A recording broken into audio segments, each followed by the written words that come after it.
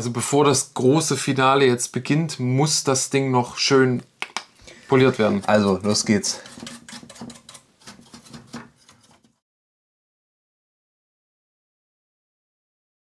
Und damit herzlich willkommen zurück in den 80ern. Genauer gesagt 1989, denn wir sind endlich am Finale angekommen. Das große Finale der ersten Piratenwelle von 1989 heute mit dem ikonischsten Piratenset überhaupt, würde ich mal so frech behaupten. Der Black Seas Barracuda, die 6285. Wupp, wupp. Es hat lange gedauert, jetzt sind wir hier. Ähm, wir haben sie aufgebaut, wir haben sie in, ja, in bester ähm, Condition. In, ja, genau, wie wir sie herstellen konnten für euch aufbereitet. Wir haben natürlich auch die OVP da liegen. Wir haben hier witzigerweise noch ein paar Teile der OVP liegen. Anleitung, alles dabei, Minifiguren, alles dabei. Aber wir sitzen hier zu zweit. Das Ding ist relativ groß. Das Ding hat einen relativ großen Karton. Alles gleichzeitig können wir mal nicht zeigen. Aber wir gehen schön der Reihe durch. Wir machen noch einen kurzen Ausflug, so quasi, was bisher geschah. Ja. Weil, wenn ich jetzt sage, wir sind am Finale angekommen, was heißt das? Vielleicht ist der ein oder andere da draußen dabei, der noch nicht die gesamte Reihe gesehen hat. Da gibt es eine Playlist unten in der Beschreibung. Da sind, ist die ganze Welle drin. Angefangen vom kleinsten Set bis jetzt hierhin zum größten. Zuletzt hatten wir euch das Gouverneurskastell zusammen gezeigt. Ja. Und davor bin ich alle Sets der Reihe durchgegangen, inklusive solcher Sachen wie dem Comic. Ja. Der Schatz der halben Münze heißt, hieß der, glaube ich. Auch sowas ist dabei gewesen. Oder wir haben sogar einen kleinen Ausflug gemacht in das Brettspiel, was damals gab. Da haben wir hier gesessen. seltene Brettspiel. Das kennen von euch 99% äh, gar nicht. Ähm, Das haben wir gemacht, das haben wir gezeigt. Ja, und wie gesagt, heute sind wir hier. Und weil das eben so ein großes Set ist, Basti auch eine Geschichte dazu noch erzählen kann, haben wir das mal wieder in bester Tag-Team-Manier zusammen gemacht und wollen euch das näher bringen. richtig. Ich würde sagen, Wir fangen mit der Box an, wir, oder? ich stelle das mal hier ganz kurz beiseite Ja. und wir fangen mal mit der Box an. Diese schöne Box. Achtung, das ist erstmal nur der Deckel. Hier drüben ist noch die Box. Ihr ihr seht mich gar nicht. Hier drüben ist noch die Box mit allen Innenkartons und Blistern. Da gucken wir dann auch noch rein. Das ist nahezu fast so das Feeling, als hättest du es original aufgemacht. Kommt dann gleich. Wir gucken uns jetzt erstmal diese Box an. Diese Box ist ungemein groß. Ich habe dieses Set tatsächlich, lasst mich lügen, ich glaube zum 12. Geburtstag bekommen. Äh, wenn ich noch ein paar Fotos finde, blende ich die gerne ein. Und ich hatte damals das Gefühl, das ist ein riesengroßer Karton. Ich hatte niemals zuvor so einen riesengroßen Lego-Karton in der Hand. Und es war für mich der Oberflash. So, lange gewünscht, immer wieder gewünscht und dann bekommen. So. Und ihr seht ja auch, ähm, da passiert einiges auf dem Cover. Das ist ideal für kindliche Imagination. So, das ist übrigens hier so ein Deckel. Bei diesen größeren Sets ist es so, dass die dann äh, sozusagen auf den, na, auf den Innenkarton draufgeschoben werden und dann mit diesen Laschen festgemacht werden. Und was es eben auch gab damals, warte mal, ich lege das mal hier kurz so hin, war natürlich eine große Klappe. Und hier konnte man dann schon reingucken durch die Sichtfenster. Vier Sichtfenster konnte man in, die, äh, in das Innere reingucken, hat die Blister schon gesehen, besondere Teile schon gesehen. Gucken wir uns, wie gesagt, gleich an. Ähm, und es ist so schön designt mit dieser Schatzkartenoptik. Es ist einfach wirklich toll. Diesen Karton habe ich übrigens nachgekauft. Mein Originalkarton aus der Kindheit, der ist zu Andi gewandert. Der hat also auch noch einen Karton dazu. Ähm, weil ich die Chance hatte, letztes Jahr dieses Set wirklich komplett mit Blister und allem Möglichen nochmal zu bekommen. So. Ja, äh, die Frage ist, ob man das noch irgendwie näher rankriegt an euch. Wahrscheinlich wird das ein bisschen eng. Es gibt übrigens dann zeitnah auch irgendwann noch einen Blogbeitrag bei uns auf steckkasten.de. Und da sind natürlich alle Bilder von, diesen, von diesem schönen Karton nochmal detailliert drin. Da gibt es auch eine Menge anderer Piraten-Reviews. Also es lohnt sich darüber zu schalten. Und Andi, ich würde sagen, ah, hier oben steht übrigens groß noch Legoland, ja, das Ganz ist ja klar. auch ganz typisch. Und jetzt würde ich sagen, Andi, gehen wir mal in den Innenkarton rein. Genau. Äh, Und da hat man so ein bisschen so die Herausforderung, wenn ich das jetzt ankippe, äh, Das würde das wahrscheinlich raus. alles rausfallen. Ja, ihr seht aber, da sind eine ganze Menge Sachen drin und ich würde sagen, wir filmen das jetzt mal Wir aus der Ego-Perspektive. Äh, willst du mal dein Handy schnappen? Ja. Dann können wir nämlich mal gucken und den Leuten mal so ein bisschen vermitteln, wie das damals war. Bei meiner Originalbox damals sind die Innenkartons dann alle weggeflogen, weil für mich war das einfach nur Pappe und Plaste. Aber der Vorteil von diesen Innenkartons und diesen Blistern ist, dass die Teile wirklich sehr, sehr gut aufgehoben sind. Das hat Lego ziemlich clever gemacht damals. Ja. dann, ich würde sagen, Feuer frei. Alright, Peoples, Dudes und Dudetten, an Deck. Also ihr seht hier zwei Innenkartons. Ihr seht hier zum Beispiel noch so ein, so ein Material, so ein bisschen Pappe, damit das nicht so sehr verrutscht. Ihr seht hier den einen Blister, da sind auch Figuren drin, Fahnen drin und so weiter. Ähm, hier waren übrigens diese Goldstücke drin äh, aber allerdings zusammen gemacht. Ähm, die sind jetzt natürlich auseinander. Ähm, hier unten ist ein weiterer Blister. Ähm, es ist ein bisschen schwer noch zu rekonstruieren, was hier drin war. Das ist übrigens die Galionsfigur. Haben wir jetzt erstmal freigelassen. Hier übrigens, solche kleinen Sachen fallen dann einfach gerne mal raus. Dann hast du hier noch den anderen Blister. Ich hebe das mal ganz kurz ab. Und in dem anderen Blister, der ist wie gesagt ziemlich breit, sind alle Teile für den Schiffsrumpf drin. Also hinten ein Teil, drei mittlere Teile und das vordere Teil. Hier ist übrigens noch das lange Band. Äh, Wir kommen nachher noch zu den äh, Teilen, die ein bisschen was kosten. Das lange Band gehört auf alle Fälle auch dazu. Das lange Band kostet nämlich 10 Euro, also ab 10 Euro bei Bricklink, bei deutschen Bricklink-Händlern. Ja, und dann können wir diesen Blister auch nochmal abnehmen und dann seht ihr hier drunter natürlich so einen normalen gelben Karton. Hier unten ist übrigens die Anleitung. Hier ist noch mehr Polstermaterial. Also das haben die wirklich richtig gut durchdacht. Hier sind Mastenteile äh, und hier sind Segel, die auch ein bisschen was kosten. Und hier diese Teile, diese Kartons, die kann man natürlich auch noch aufmachen, hier oben über so eine Lasche. Und ich habe da jetzt, ich konnte nicht mehr hundertprozentig rekonstruieren, wie das da drin war. Ich habe das so ein bisschen farblich sortiert. Ja, so. Ja, und das ist der Innenkarton.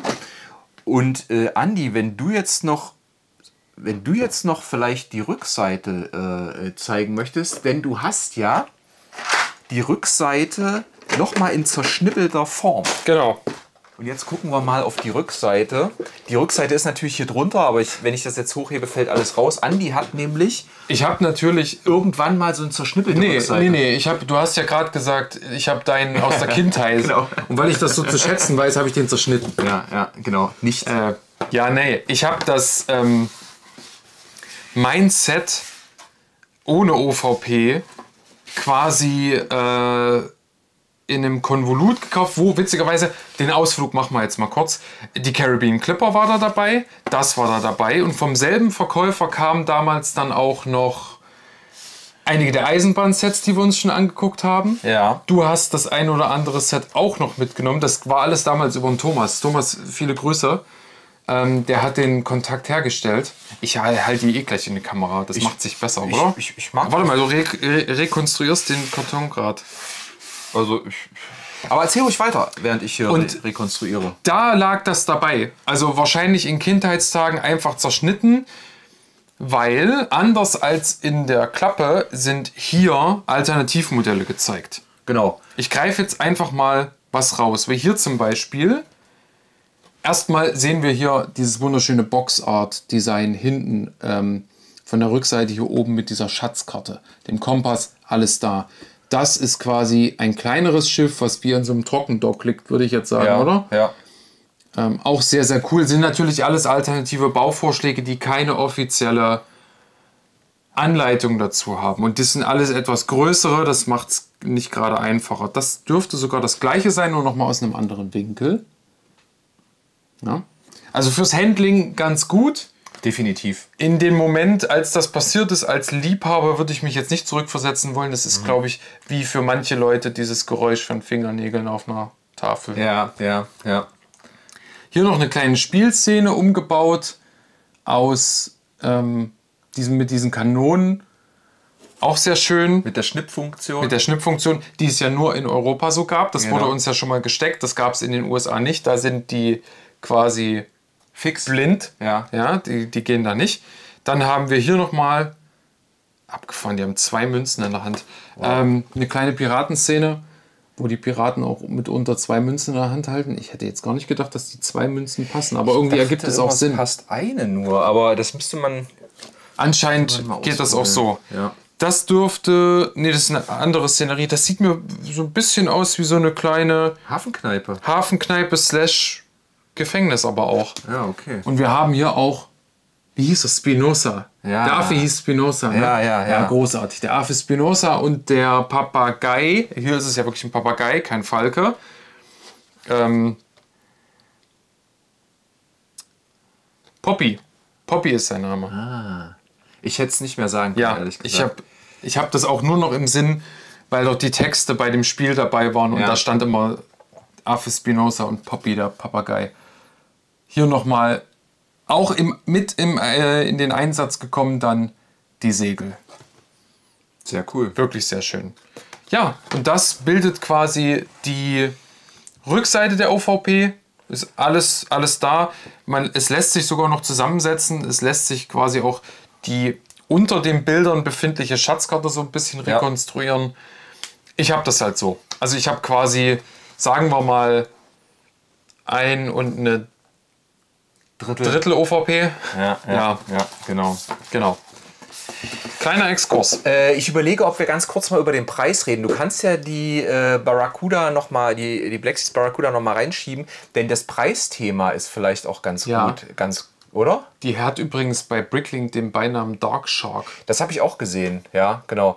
Ähm, also grundsätzlich, ich habe jetzt mal geguckt bei eBay bei tatsächlichen Verkäufen. Da legst du für dieses Set ohne Box, also das Set nur mit Anleitung, meistens so ab 150 Euro hin. Ich habe aber gesehen, 150 Euro ist wahrscheinlich aktuell noch ein günstiger Preis. Die geht auch manchmal für 170, 180, 200 Euro weg. Nur das Set mit Anleitung. Ähm, ich habe auch gesehen, dass teilweise über 200 weggeht. Also Es zahlt auf das Konto ein. Es ist das ikonischste Piratenset Ja, überhaupt. und das ist halt erste so. Schiff, das ist das allererste Piratenschiff von Piratenschiff. Piratenschiff, ja. von Lego, Piratenschiff, genau. das stimmt. Wenn du das mit Box haben willst, bist du dann deutlich höher. Äh, Da kannst du so rechnen ab 300 Euro. Es gibt auch Leute, die geben 400 Euro mit Box aus. Dann ist natürlich auch immer entscheidend, ob da die ganzen Innenkartons drin sind, die meistens nicht dabei sind. Ähm, ich habe jetzt auch gesehen, vor kurzem ist für 270 eins mit Box weggegangen. Ähm, also da kannst du auch mal Glück haben, äh, aber normalerweise ab 300. So. Ähm, die teureren Teile, wollen wir die Die gehen wir jetzt gleich mal die durch. gehen wir jetzt gleich durch. Ich Ja. habe mal eine kleine Liste gemacht, weil das kann man sich alles gar nicht richtig merken. Ähm, und ich gehe das mal zügig durch, damit ihr mal so ein Feeling dafür habt, was hier so die teuersten Teile sind. Und eine Sache vorweg, es gibt einen Teil, was sehr, sehr klein ist und das ist das teuerste Teil. Das kostet ab 20 Euro. Und da solltet ihr unbedingt darauf achten, dass das dabei ist. Eine Sache vorweg, ich habe bei Bricklink geguckt und zwar bei deutschen Händlern. So. Und habe immer versucht, jetzt nicht die allerschlechteste Qualität zu nehmen. Wir reiten da jetzt mal schnell durch. So, ganz oben steht bei mir das Steuerrad. So, Andi versucht euch das gleich mal zu zeigen. Ich nehme es mal ab. Ja, genau. Weil manche Sachen lassen sich so, einfach. das, das Steuerrad kostet meistens so ab 80 Cent 1 Euro. Ja, das bricht auch gerne mal ab. Ich hatte bei meinem Originalset auch das Thema, dass dann irgendwann abgebrochen haben Spielen. So. Ähm, der Anker, der hier vorne dran ist, das kann man übrigens auch ausziehen. Der Anker kostet normalerweise auch so ungefähr ab 1 Euro. Ne? So. Dann typisch für ein Schiff ist, natürlich sind die Masten. Da gibt Oh es ja. ein Base-Teil unten, ein mittleres Teil und ein oberes Teil. Übrigens, das obere Teil, das kann man hier auch vorne festmachen. Das Genau. ist übrigens auch ein oberes Teil. Das ist das sehr, ist hier vorne aufgenoppt. auf vier variabel. Genau. Da kostet die Base kostet ab so 1,40 Euro, das mittlere Teil ab 1,50 und die Mas- Mastspitze ab 3 Euro. Kannst du dir auch kurz mal durchrechnen, was allein die Masten kosten. So, dann haben wir hier drei verschiedene Arten von Fäden an dem Set. Wir haben einen sehr langen Faden, das war Der ist auch dicker? Der ist auch ein bisschen dicker, der ist auch hier das Ende Ist aufgewickelt. rumgewickelt, weil der ist nämlich 1,25 Meter lang. Ja? Ähm, der kostet ab 10 Euro. So. Wenn man ihn natürlich original haben will. Ja, man kann das natürlich auch in irgendeiner Form nachbauen. Ich spreche jetzt immer von, wenn du das Original haben willst. Ne? So. Du kannst ja mal ganz kurz noch, ich Das weiß nicht, ob der lange. einfangen kann. Ich glaube, das wird schwierig. Aber weißt du, was man machen kann? Um zu beweisen, dass er da ist, Spinoza dranhängen. Genau, richtig. Äh, Der ist wirklich, der erstreckt sich von, von hier vorn, hier durch das erste Segel durch, gewunden nach hier oben, nach hinten, nach ganz hinten runter und ist da noch gewickelt. und man kann den auch hier so ein bisschen über diese Hinge dann noch ein bisschen fixen Genau, und man, straffen. So. hier, das geht an der Stelle, das geht an der Stelle hier. Hier vorne ist er fix. Also hier über diese drei Punkte hier hinten kann man den so ein bisschen spannen. Genau. So, und dann gibt es noch einen Faden, der ist 50 cm lang. Äh, der ist nämlich an dem Boot. Der Genau. ist nicht ganz so dick. Der bammelt hier Äh, so da gucke ich noch mal kurz auf mein, auf mein Zettelchen. Der ist 35 cm, kostet ab 4 Euro. Und dann gibt es noch einen Faden, der ist 50 cm. Der ist tendenziell ein bisschen dünner, wenn Genau. das der Originale ist. Ich bin mir nicht ganz sicher, ob das der Originale ist. Aber die, die dünnen waren auch so. Der- die die Medium-Fäden, die sind ja wirklich geflochten, das sieht man. Ja. Die dünneren sind auch geflochten, aber viel, viel feiner, das sieht man schon gar nicht mehr. Hier sieht man mit bloßem Auge, ja, das geflochten. Das hier sieht ein bisschen aus wie Nägern fast sogar. Ja, also Der kostet original von Lego so ab 1,40 Euro, 1,50 Euro bei Bricklink, gesagt. So, und dann geht's weiter. Dann sind wir ja, wir sind im Schiffsbereich. Das heißt, du hast ein Frontstück, das habe ich euch ja vorhin schon kurz gezeigt. Ein Frontstück, dann hast du drei mittlere Stücken und ein hinteres. So, da ist es so, dass die Front kostet ab 2,50 Euro, das mittlere Stück ab 4 Euro und das hintere Stück auch ab 4 Euro. Die mittleren Stücke sind tendenziell wahrscheinlich ein bisschen begehrter, weil du kannst damit natürlich auch Schiffe verlängern. Ja. So, das heißt, äh, wenn du da was mockst, brauchst du eigentlich immer nur eine Front und eine, äh, ein, ein Poppes. Ähm, und zwischendrin kannst du es dann beliebig verlängern. Das heißt, wie gesagt, der Markt ist dann eher so, dass du versuchst, also dass der, dass der Markt eher nach vielen Mittelstücken verlangt. So, genau. Ähm, dann haben wir hier noch diese, ich nenne das immer Strickleitern an der Seite. Ich glaube aber, da gibt es äh, anderen Fachbegriff. Genau, die kosten ab 4 Euro das Stück und da sind auch vier drin. Da sind Ja. wir schon wieder bei 16 Euro. das sind Also- die langen. Da gibt es nämlich lange und kurze. Ach, da gibt es lange und kurze. Genau. Aber hier sind Ähm, nur die drin, ne? Ja, ja, genau. genau. Ähm, dann Kanonen. Hier sind vier Kanonen an Bord. So eine Kanone, da kostet nur das Oberteil, also das Graue mit der Schnippfunktion ab 1 Euro. Bist du bei Vieren auch dann schon bei. Was hatte ich gesagt? Eins kostet einen Euro, bei Vieren auch schon bei 4 Vier Euro. Euro. Ähm, Oh. Segel. Segel sind auch so ein Thema. Du hast hier drei verschiedene Arten von Segeln. Du hast die oberen Segel, du hast die unteren Segel und du hast ein Frontsegel, dieses dreieckige. Äh, Das, ähm, das dreieckige Segel, was habe ich hier geschrieben? Segel vorn kostet 14 Euro, also ab 14 Euro. Gute Nacht eigentlich. Äh, Das Segel unten ab 8 Euro und das oben ab 12 Euro. Ich habe jetzt bei Bricklink auch gesehen, da werden auch Originalsegel verkauft, denn das obere und das untere war meistens oder war immer zusammen, das musste man auseinanderschneiden. Mal gucken, vielleicht finde ich auch noch ein Bild. Das kostet, glaube ich, über 50 Euro, wenn du das Original un, un, also noch zusammen haben Man möchtest. sieht, es, man sieht auch hier noch eine Mini-Schnittkante. Das wird, Ja. wird, werdet ihr nicht sehen. Aber in der Anleitung, da gehen wir gleich dann als nächstes drauf ein. Da ist es auch zu sehen, dass man es auseinanderschneiden soll. Ja. Das heißt, die waren wirklich so zusammen und dann cut, cut, cut. Gibt natürlich auch Replikasegel. Ja, Es gibt auch ähm, einen Unterschied zu den Segeln aus der Barracuda Bay. ja, ja. Da hast du ja ein Video gemacht. genau, die sind nämlich hinten nicht farbig. Richtig. Video unbedingt mal checken. Ähm, Da gehen wir oder da geht Basti darauf ein. Ähm, mit Replikasegeln habe ich selbst keine Erfahrung.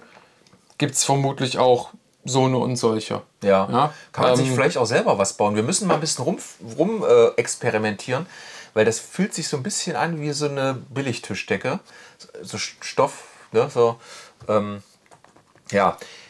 Die kleinere Fahne ist ein bisschen günstiger. Die gibt es manchmal schon für ein paar Cent, aber die größere, die kostet halt auch mal 1, 2 Euro. Ich habe jetzt aber gesehen, manchmal werden die ab 2 Euro bei Bricklink angeboten und haben dann einen kaputten Clips. Ja, das Also, ist ja die, Ähm, das ist ja die Clips-Thematik immer. So ab zwei. Du kannst eigentlich sagen, wenn du es wirklich mit allen Clips haben willst, bist du eher bei 4 oder 5 Euro für die große Fahne. Aber ich sag's halt nur der Vollständigkeit halber dazu. Äh, nicht, dass ihr euch wundert, ihr geht bei Bricklink rein, die gibt's ja schon für 1,50 bis 2 Euro. Guckt da mal genau hin, da sind meistens, ist meistens vermerkt Clips abgebaut. Auf die Clips So. achten und der Premium-Tipp schlechthin, wenn ihr die alten habt, tut uns, euch selbst, jedem äh, Vintage-Lego-Fan da draußen gefallen, Clips die nicht so an, schiebt sie von oben auf. Ja, das ist deutlich besser. Zehnmal einfacher, da gibt es keinen Stress auf die Clipse, weil dabei brechen sie weg, schiebt's auf. Vielen Dank nochmal an Unbekannt. Äh, ich kann mich nicht mehr entsinnen. Ein Zuschauer hat mir damals den Tipp Ja. gegeben in einem dieser Videos und hat gemeint, um Himmels Willen, schieb die drauf, clip sie nicht dran. Seitdem mache ich das so. Hier teile ich euch das Wissen nochmal mit. So, jetzt kannst du den Leuten mal diese, diese Oh. Scheiben zeigen. Äh, ich hatte das weißen. nämlich gar nicht so sehr auf dem Schirm. Die sind, da sind an jeder Seite zwei und ich Genau. glaube, hinten sind auch noch Oh ja. vier. Da. Äh, also haben wir insgesamt acht. Da, so ein Ding kostet ab 80 Cent. Geht ins Geld. Vielleicht auch ein Euro. Das heißt, für diese Scheiben bezahlst du dann schon 8 Euro. Ja, so. Und jetzt kommen wir zu zwei gelben Teilen, die nur in diesem Set vorgekommen sind. Wir fangen mal mit dem hier hinten an. Das kannst du, glaube ich, sogar abklipsen. Ich war immer der Meinung, das ist ein Fabuland-Teil. Das erinnert mich voll an Fabuland. Ich habe aber jetzt mal geguckt, dieses Teil gibt es in Gelb in der Art wirklich nur in diesem Set. Und es wurde in diesem Set auch erstmalig veröffentlicht, dieses Teil. Also es hat mit Fabuland nichts zu tun, aber mich hat es daran erinnert. Hier hinten. Dieses Teil, dieser Brick kostet ab 2 Euro und da sind zwei drin. Ich habe jetzt auch bei Ebay gesehen, da bieten welche das für 5 Euro pro Stück an. Also müsst ihr auch mal ein bisschen aufpassen. Und jetzt kommen wir zum teuersten Teil. Und da sind wir vorne bei der Galionsfigur, da ist hier hinten nämlich so ein kleiner Slope. Moment, ich kann, Du glaube kannst, ich, wie kannst du die Galionsfigur abnehmen. so, genau. Da ist so ein kleiner Slope, extrem unauffällig. Also, Ich bin da erst, erst die Galionsfigur, genau. Ich bin da erst drüber gegangen, bei, als ich bei Bricklink bei den Teilen geguckt habe. Bin dann aber noch mal rein, einfach aus Interesse, ob das, keine Ahnung, selteneres Teil ist. So. Das gibt es in Gelb nur in diesem Set. Das kostet ab 20 Euro, dieses Ding, dieses kleine Ding. Liegt wahrscheinlich daran, dass das nur in dem Set gab und dass das tendenziell wahrscheinlich schnell weggekommen ist. Du kannst die Galionsfigur natürlich auch verwenden ohne das Teil da hinten dran. Äh, aber das sollte man wissen. Also wenn man jetzt Sammler ist und ja, will das wirklich original haben, das sollte dabei sein. Wenn du das, bei, wenn du das nachkaufst, wird es schwierig. das kann aus einem, aus einem ganz guten, vernünftigen Deal mal eben einen Deal mit Beigeschmack machen. Richtig. Und ihr seht, ich habe das jetzt alles nicht durchgerechnet, aber da kommen Summen zusammen, schon für die Teile, die ich jetzt genannt habe. Kurzer Abstecher. Ich hoffe, es war nicht zu lang. Jetzt gucken wir uns einfach mal die Anleitung an. Genau. Oder? Dann Und dann gucken wir natürlich auch nochmal auf das Schiff. Das hat natürlich auch äh, ein paar lustige Spielfunktionen und es hat mich sehr begeistert als Kind. Ich habe sehr viel damit gespielt. Wer hätte es gedacht, die ist natürlich wieder flach wie eine Flunder. Äh, zeigt auf dem Cover das gleiche Cover wie die OVP. Sehr, sehr schön. Auf der Rückseite, die müssen wir jetzt hier einmal so drehen, nochmal drei der gleichen Bilder, die wir euch eben bei der OVP schon gezeigt haben. Und dann geht's straightforward los mit den ganzen. Es sind acht Stück, acht Minifiguren, die hier drin sind. Das kam mir damals als Kind übrigens sehr viel vor. Es ist auch heute, nach heutigem noch sehr viel. Wobei ich jetzt gestern durch Zufall gesehen habe, im Metroliner sind es elf. Das ist krass. Von Blackbeard über ein paar seiner ähm, Handlanger. Eine Piratin ist mit dabei. Wir starten dann, das zeige ich euch mal, da haben wir das gleich aus dem Weg, ähm, mit dem Boot. Das ist ja natürlich das Formteil. Hier ist das 35 cm Bindfädchen nochmal dran. Hinten eine Piratenfahne, Fahne, zwei Sitzbänke. Ihr kennt das. Da haben wir das schon mal erledigt, können wir das beiseite tun. Und dann geht es hier los. Im Landscape-Modus baut man dann den Rumpf zusammen und arbeitet sich dann Schritt für Schritt durch. Und wenn man dann einmal den Rumpf hat, dann baut man da drauf und drin das Innenleben. Dann kommen irgendwann Plates, die für Stabilität sorgen und natürlich dafür, dass das Deck so halb zu ist. Es ist halb zu, halb offen. Ähm, das sieht man hier ganz gut. Und dann baut man auch hinten diese Kajüte Ja, würde ich auch sagen. vom Kapitän, die auch auf Hinges befestigt ist. Die kann man aufmachen, nach oben wie nach hinten. Und hier ist übrigens nochmal so ein, so ein Base-Teil zu sehen. Was hast du vorhin gesagt? 4 Euro? Äh, von, der, von, dem, von dem Mast. Ja. Ich gucke noch mal ganz kurz auf meinen schlauen Zettel. Äh, Die, die Base kostet ab 1,40. Ah, hier ist übrigens nochmal ein 35 cm ähm, Faden verbaut für den Anker. Stimmt, vielleicht sind auch zwei davon drin. Hier kommt dann die Galionsfigur und hier geht es dann in die Höhe mit den restlichen Mastteilen. Und dann hat man nach 28 Hauptbauschritten, das ist sehr cool, das erinnert mich wie, in, wie diese Doppelseite in Comicbüchern in der Mitte Ja, meistens, ja. wo die größte Action ist. Das ist eine Doppelseite, Schritt 28, hat so ein bisschen Poster-Vibes, ist das dann fertig und hier ist auch nochmal der Hinweis, dass man es wirklich auseinanderschneiden musste. Und 28 Bauschritte klingt nicht wirklich viel. Aber Es- wenn ich mich zurückerinnere als Kind, ich saß den kompletten Vormittag. Ich glaube, morgens habe ich, ja, morgens, ja klar, Klassiker, morgens kriegt man die Geburtstagsgeschenke. Und ich glaube, bis zum Mittagessen habe ich gebaut. Man So, muss dazu sagen, fast jede. Seite hat einen Subbauschritt. Und wenn Ja. du dir den Subbauschritt anguckst, da können auch mal 10 Minuten ins Land gehen. Also das ist schon richtig, richtig cool. Es ist auch schön, das Schiff einfach so zu sehen. Die Figuren sollten wir vielleicht vorher noch Die machen wir jetzt gleich. angucken. Äh, da ist, äh, kann man grundsätzlich sagen, jede der Piratenfiguren ist so meistens zwischen 1 bis 2 Euro. Der Kapitän ist, äh, soweit ich mich erinnern kann, so ab 5 Euro. Und ich glaube, die Kapitänsfrau so ab 4 Euro äh, in der Regel zu bekommen. Die haben wir sie. Sehr, sehr cool. Und dieser, dieser Kopf von der Piratenfrau äh, wird übrigens vorne bei der Galionsfigur auch nochmal verwendet. ah, genau. So, und dann flippen wir das Ganze hier. Und äh, was hier auch auffällt ist, du hast extrem viele ähnliche Torsos. Äh, Lego versucht das dann eben durch eine Variation mit verschiedenfarbigen Beinen, verschiedenfarbigen Hüten und so weiter oder hier so, so Tüchern ähm, noch ein bisschen zu variieren. Das finde ich auf alle Fälle sehr, sehr schön. Ist ein bisschen ein Vorteil, wenn ich so an die Ritter der 80er Jahre denke. Da hattest du einfach 10, 12 sehr ähnliche Ritter und hier hat Lego versucht, ein bisschen Variation reinzubringen. Aber hier kommt es ja auch durch die Gesichter. Wir vergessen Ja. mal bitte nicht, das sind die, es ist das erste Mal, dass ein nicht Standard Ja. Classic-Gesicht Ja. zum Einsatz kam. Und wir haben hier in dem Set allein drei verschiedene Köpfe. Der Captain, die Dame und dann vier sogar. Vier. Und dann zwei verschiedene, hier sieht man es nochmal, zwei verschiedene Arten der Besatzung. Einmal mit eher Stoppelbart, einmal mit Schnauzer und Stoppelbart. Genau. Übrigens, äh, Andy hat hier frecherweise die Grundplatte von der 6260 verwendet. Genau. Shipwreck Island haben wir auch schon ein Video gemacht. Oder Saber Island Oder Saber Island. hat die gleiche Grundplatte. Saber Island hat die gleiche Grundplatte, stimmt? Genau. Richtig. Und die dann nochmal eine Nummer größer im, in der Piraten, im Piratennest. Wo, glaube ich, auch die kurze Takelage mit vorkommt. So, jetzt fahren wir das Ding rein, würde ich sagen. In voller Pracht. Also es ist auch wirklich, guck mal, wenn ich das hier so hinhalte, Ja. fällt es oben schon aus dem Bild. Also das ist, äh, das ist wirklich sehr, sehr schön. Ich kann so ein bisschen aus meiner eigenen Erinnerung berichten, ähm, dass ich sehr, sehr gerne mit den Kanonen gespielt habe. Absolut verständlich. Die verstecken sich hier unten hinter Ich diesen fand das mit diesen Dingern. Klappen auch total toll. Die kannst du dann so rausschieben. Genau. Ähm, ich habe mit dem Anker gespielt, den habe ich rausgelassen und auch wieder reingedreht. Ich habe hier, äh, gibt es die Spielfunktion, dass du die Schatzkiste hast mit diesem ja, sehr, sehr rudimentären Kran, aber da kann Er man auch eine ganze. Menge machen. Die Planke, Ah, ja. die da noch dran ist, die wird so an der Seite befestigt. Da habe ich, die habe ich auch genutzt zum Spielen. Wir machen sie. Äh, da wurde dann nämlich der ein oder andere äh, Pirat, der versucht hat zu meutern, wurde dann sozusagen über Bord geschickt.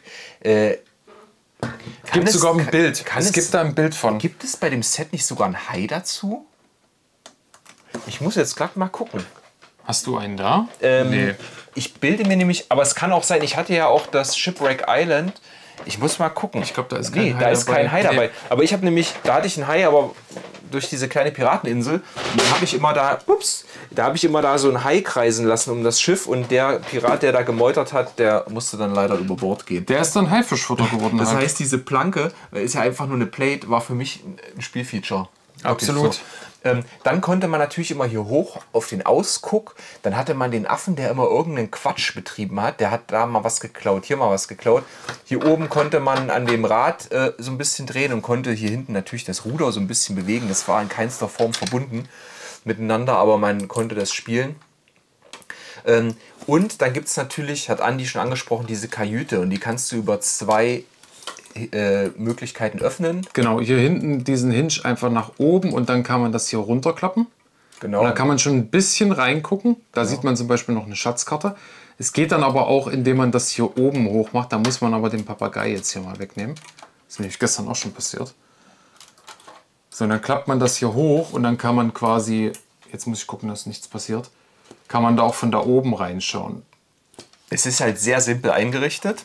Wir blenden euch noch mal ein Bild ein von der Einrichtung, die wirklich spartanisch ist. Da ist eine Truhe drin, da ist die Schatzkarte drin und dann hat man hier rechts wie links noch mal von den kleineren runden Türen, Ja. vier Stück, äh, rechts wie links jeweils zwei, so ein Paar, wo man dann auf Deck gehen konnte. Und dann hat man natürlich hier hinter so ein paar Hinges, die man hier öffnen kann. Hier unten und da und dasselbe auch weiter hier vorn. Nochmal die Möglichkeit, so ein bisschen unter Deck zu gehen. Ja. Da ist mir als Kind allerdings manchmal was reingefallen und dann habe ich es nicht wirklich wieder rausgekriegt. Äh, Das ist halt wirklich sehr kleinteilig. Selbst für Kinderhände ist das sehr, sehr kleinteilig. Ist wahrscheinlich auch gar nicht so sehr zum Bespielen gedacht. Ich stelle das mal so zwischen uns. Sieht nämlich auch ganz gut aus. Stimmt. Äh, es ist halt, ja, man kann das machen. Da unten ist wenig Platz. Ich wüsste jetzt nicht, was ich da anfangen sollte. Ist übrigens sehr witzig. Da sind diese Plate Modified mit C-Clip drin, Ja. um die aufzuhalten. Ja, um die So. Klappen zu halten. Genau. Oben, ja, genau. So, das ist, das finde ich auch ziemlich cool. Ja, an sich wirklich verhältnismäßig bricky noch. Du siehst hier wirklich sehr, sehr viele Noppen. Ähm, und ähm, ich fand das, dieses, dieses Farbschema fand ich als Kind total cool. Äh, dieses Gelb war für mich fast so ein bisschen Gold, dann hast du dieses Schwarz, dann hast du an der Seite hier so ein bisschen Weiß, du hast das Braun und du hast die rot-weißen Segel. Dieses Gesamtbild, und ihr seht das ja jetzt, dieses Gesamtbild wirkt richtig gut. Das ist wie ein Piratenschiff aus so einem, aus so einem Märchenfilm. Und es wirkt vor allen Dingen noch besser, Ja, Andi hat noch was mitgebracht äh, zum Vergleich. Wenn man sich dieses Set dazu nochmal anschaut. Das ist die Caribbean Clipper. Das ist das Schiff der Imperial Soldiers daneben. Ja. in einem anderen Farbschema mit weiß-blau. Checkt auf jeden Fall das Video aus. Ist auch nur ein Zweimaster. Hier auch, aber hier ist zum Beispiel nur ein Mast, ein Mast ein bisschen kleiner. Hier haben wir auch keinen so langen äh, Rumpf. Das ist nur ein Mittelteil. Im Gegensatz da hast du drei. Hier sind zwei Kanonen drin. Hier sind, ist zwar Platz für vier Kanonen, es sind aber nur zwei drin.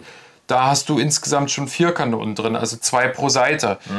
Das hier ist definitiv ja, unterbewaffnet. Im Gegensatz zu dem, es, es spielt aber in, die, Gan- in, in Gänze betrachtet sehr gut rein.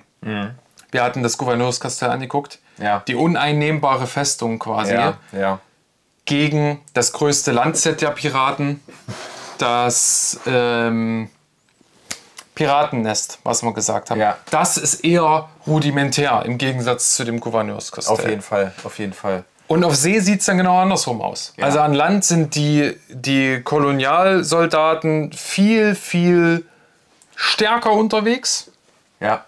Auf See die Piraten viel stärker Genau. unterwegs. Beziehungsweise es gibt ja auch die Möglichkeit oder damals die Möglichkeit, sich dieses Schiff einfach zweimal zu holen.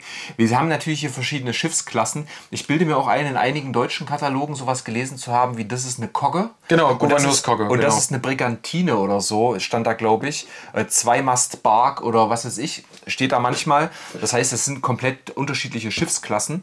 Aber wenn man sich jetzt nur mal vorstellt, man holt sich zwei oder drei von diesen Koggen und hat auf dem, äh, auf dem, auf dem Fußboden vom, oder auf dem Teppich vom, vom Kinderzimmer da so ein Szenario, wo du dann dieses große Piratenschiff hast und hast zwei oder drei davon drumrum, das sind Spielwelten, also da, äh, da geht ja halt komplett die Fantasie mit einem durch. Aber ne? in den Genuss sind wahrscheinlich auch nur die allerwenigsten gekommen. Wahrscheinlich. Weil das war auch nicht gerade günstig. Aber, aber wie Andi schon sagt, da gab es ja noch das Gouverneurs, Gouverneurskastell. Kannst du dir natürlich auch vorstellen, das steht da. Diese Gouverneurskogge ist da in der Nähe und äh, aus der Entfernung taucht dann plötzlich das große Piratenschiff auf und dann hast du sozusagen in etwa ein ausgeglichenes Ja, doch. Kräfteverhältnis. ja. Ne? So. Also im Gesamtbild ergibt das einen guten, guten Sinn. Es ist dann, ist dann tatsächlich sehr stimmig. Ja, genau. Und für sich allein gesehen ist das hier wohl nicht umsonst das Finale, nicht umsonst das größte Set, Ja. sondern wahrscheinlich auch eher wirklich, Achtung, ganz flacher Wortwitz, das Flaggschiff Das aus Flaggschiff. dieser ersten Welle. Richtig. Und wir, ich habe mir fest vorgenommen, zeitnah ein paar coole Bilder zu machen und zeitnah auch einen Blogbeitrag online zu bringen. Äh, wird wahrscheinlich zu der Zeit noch nicht da sein, wenn das Video online geht. Es kommt aber darauf an, wann du das Video guckst. Wenn du es im halben Jahr guckst, äh, dann kann auf steckkastencrew.de durchaus schon ein Blogbeitrag online sein. Denn in so einem Blogbeitrag haben wir natürlich noch viel mehr Möglichkeiten, euch auch jedes Detail zu fotografieren. Und ich werde das auch so ein bisschen inszenieren mit so einem bunten Hintergrund und so blauer Pappe, dass es aussieht, als wäre das auf dem Wasser. Äh, und da solltet ihr unbedingt mal reinschauen. Definitiv. Ja. Highlight. Ja. Absolutes Highlight. So, dann hole ich die OVP noch mal hoch und ja, wir sagen einfach mal, ich hoffe, ihr hattet eine coole Zeit. Bleibt entspannt, bleibt auf Empfang und wir sehen uns schon sehr bald wieder. In diesem Sinne, liebe Freunde, bye bye.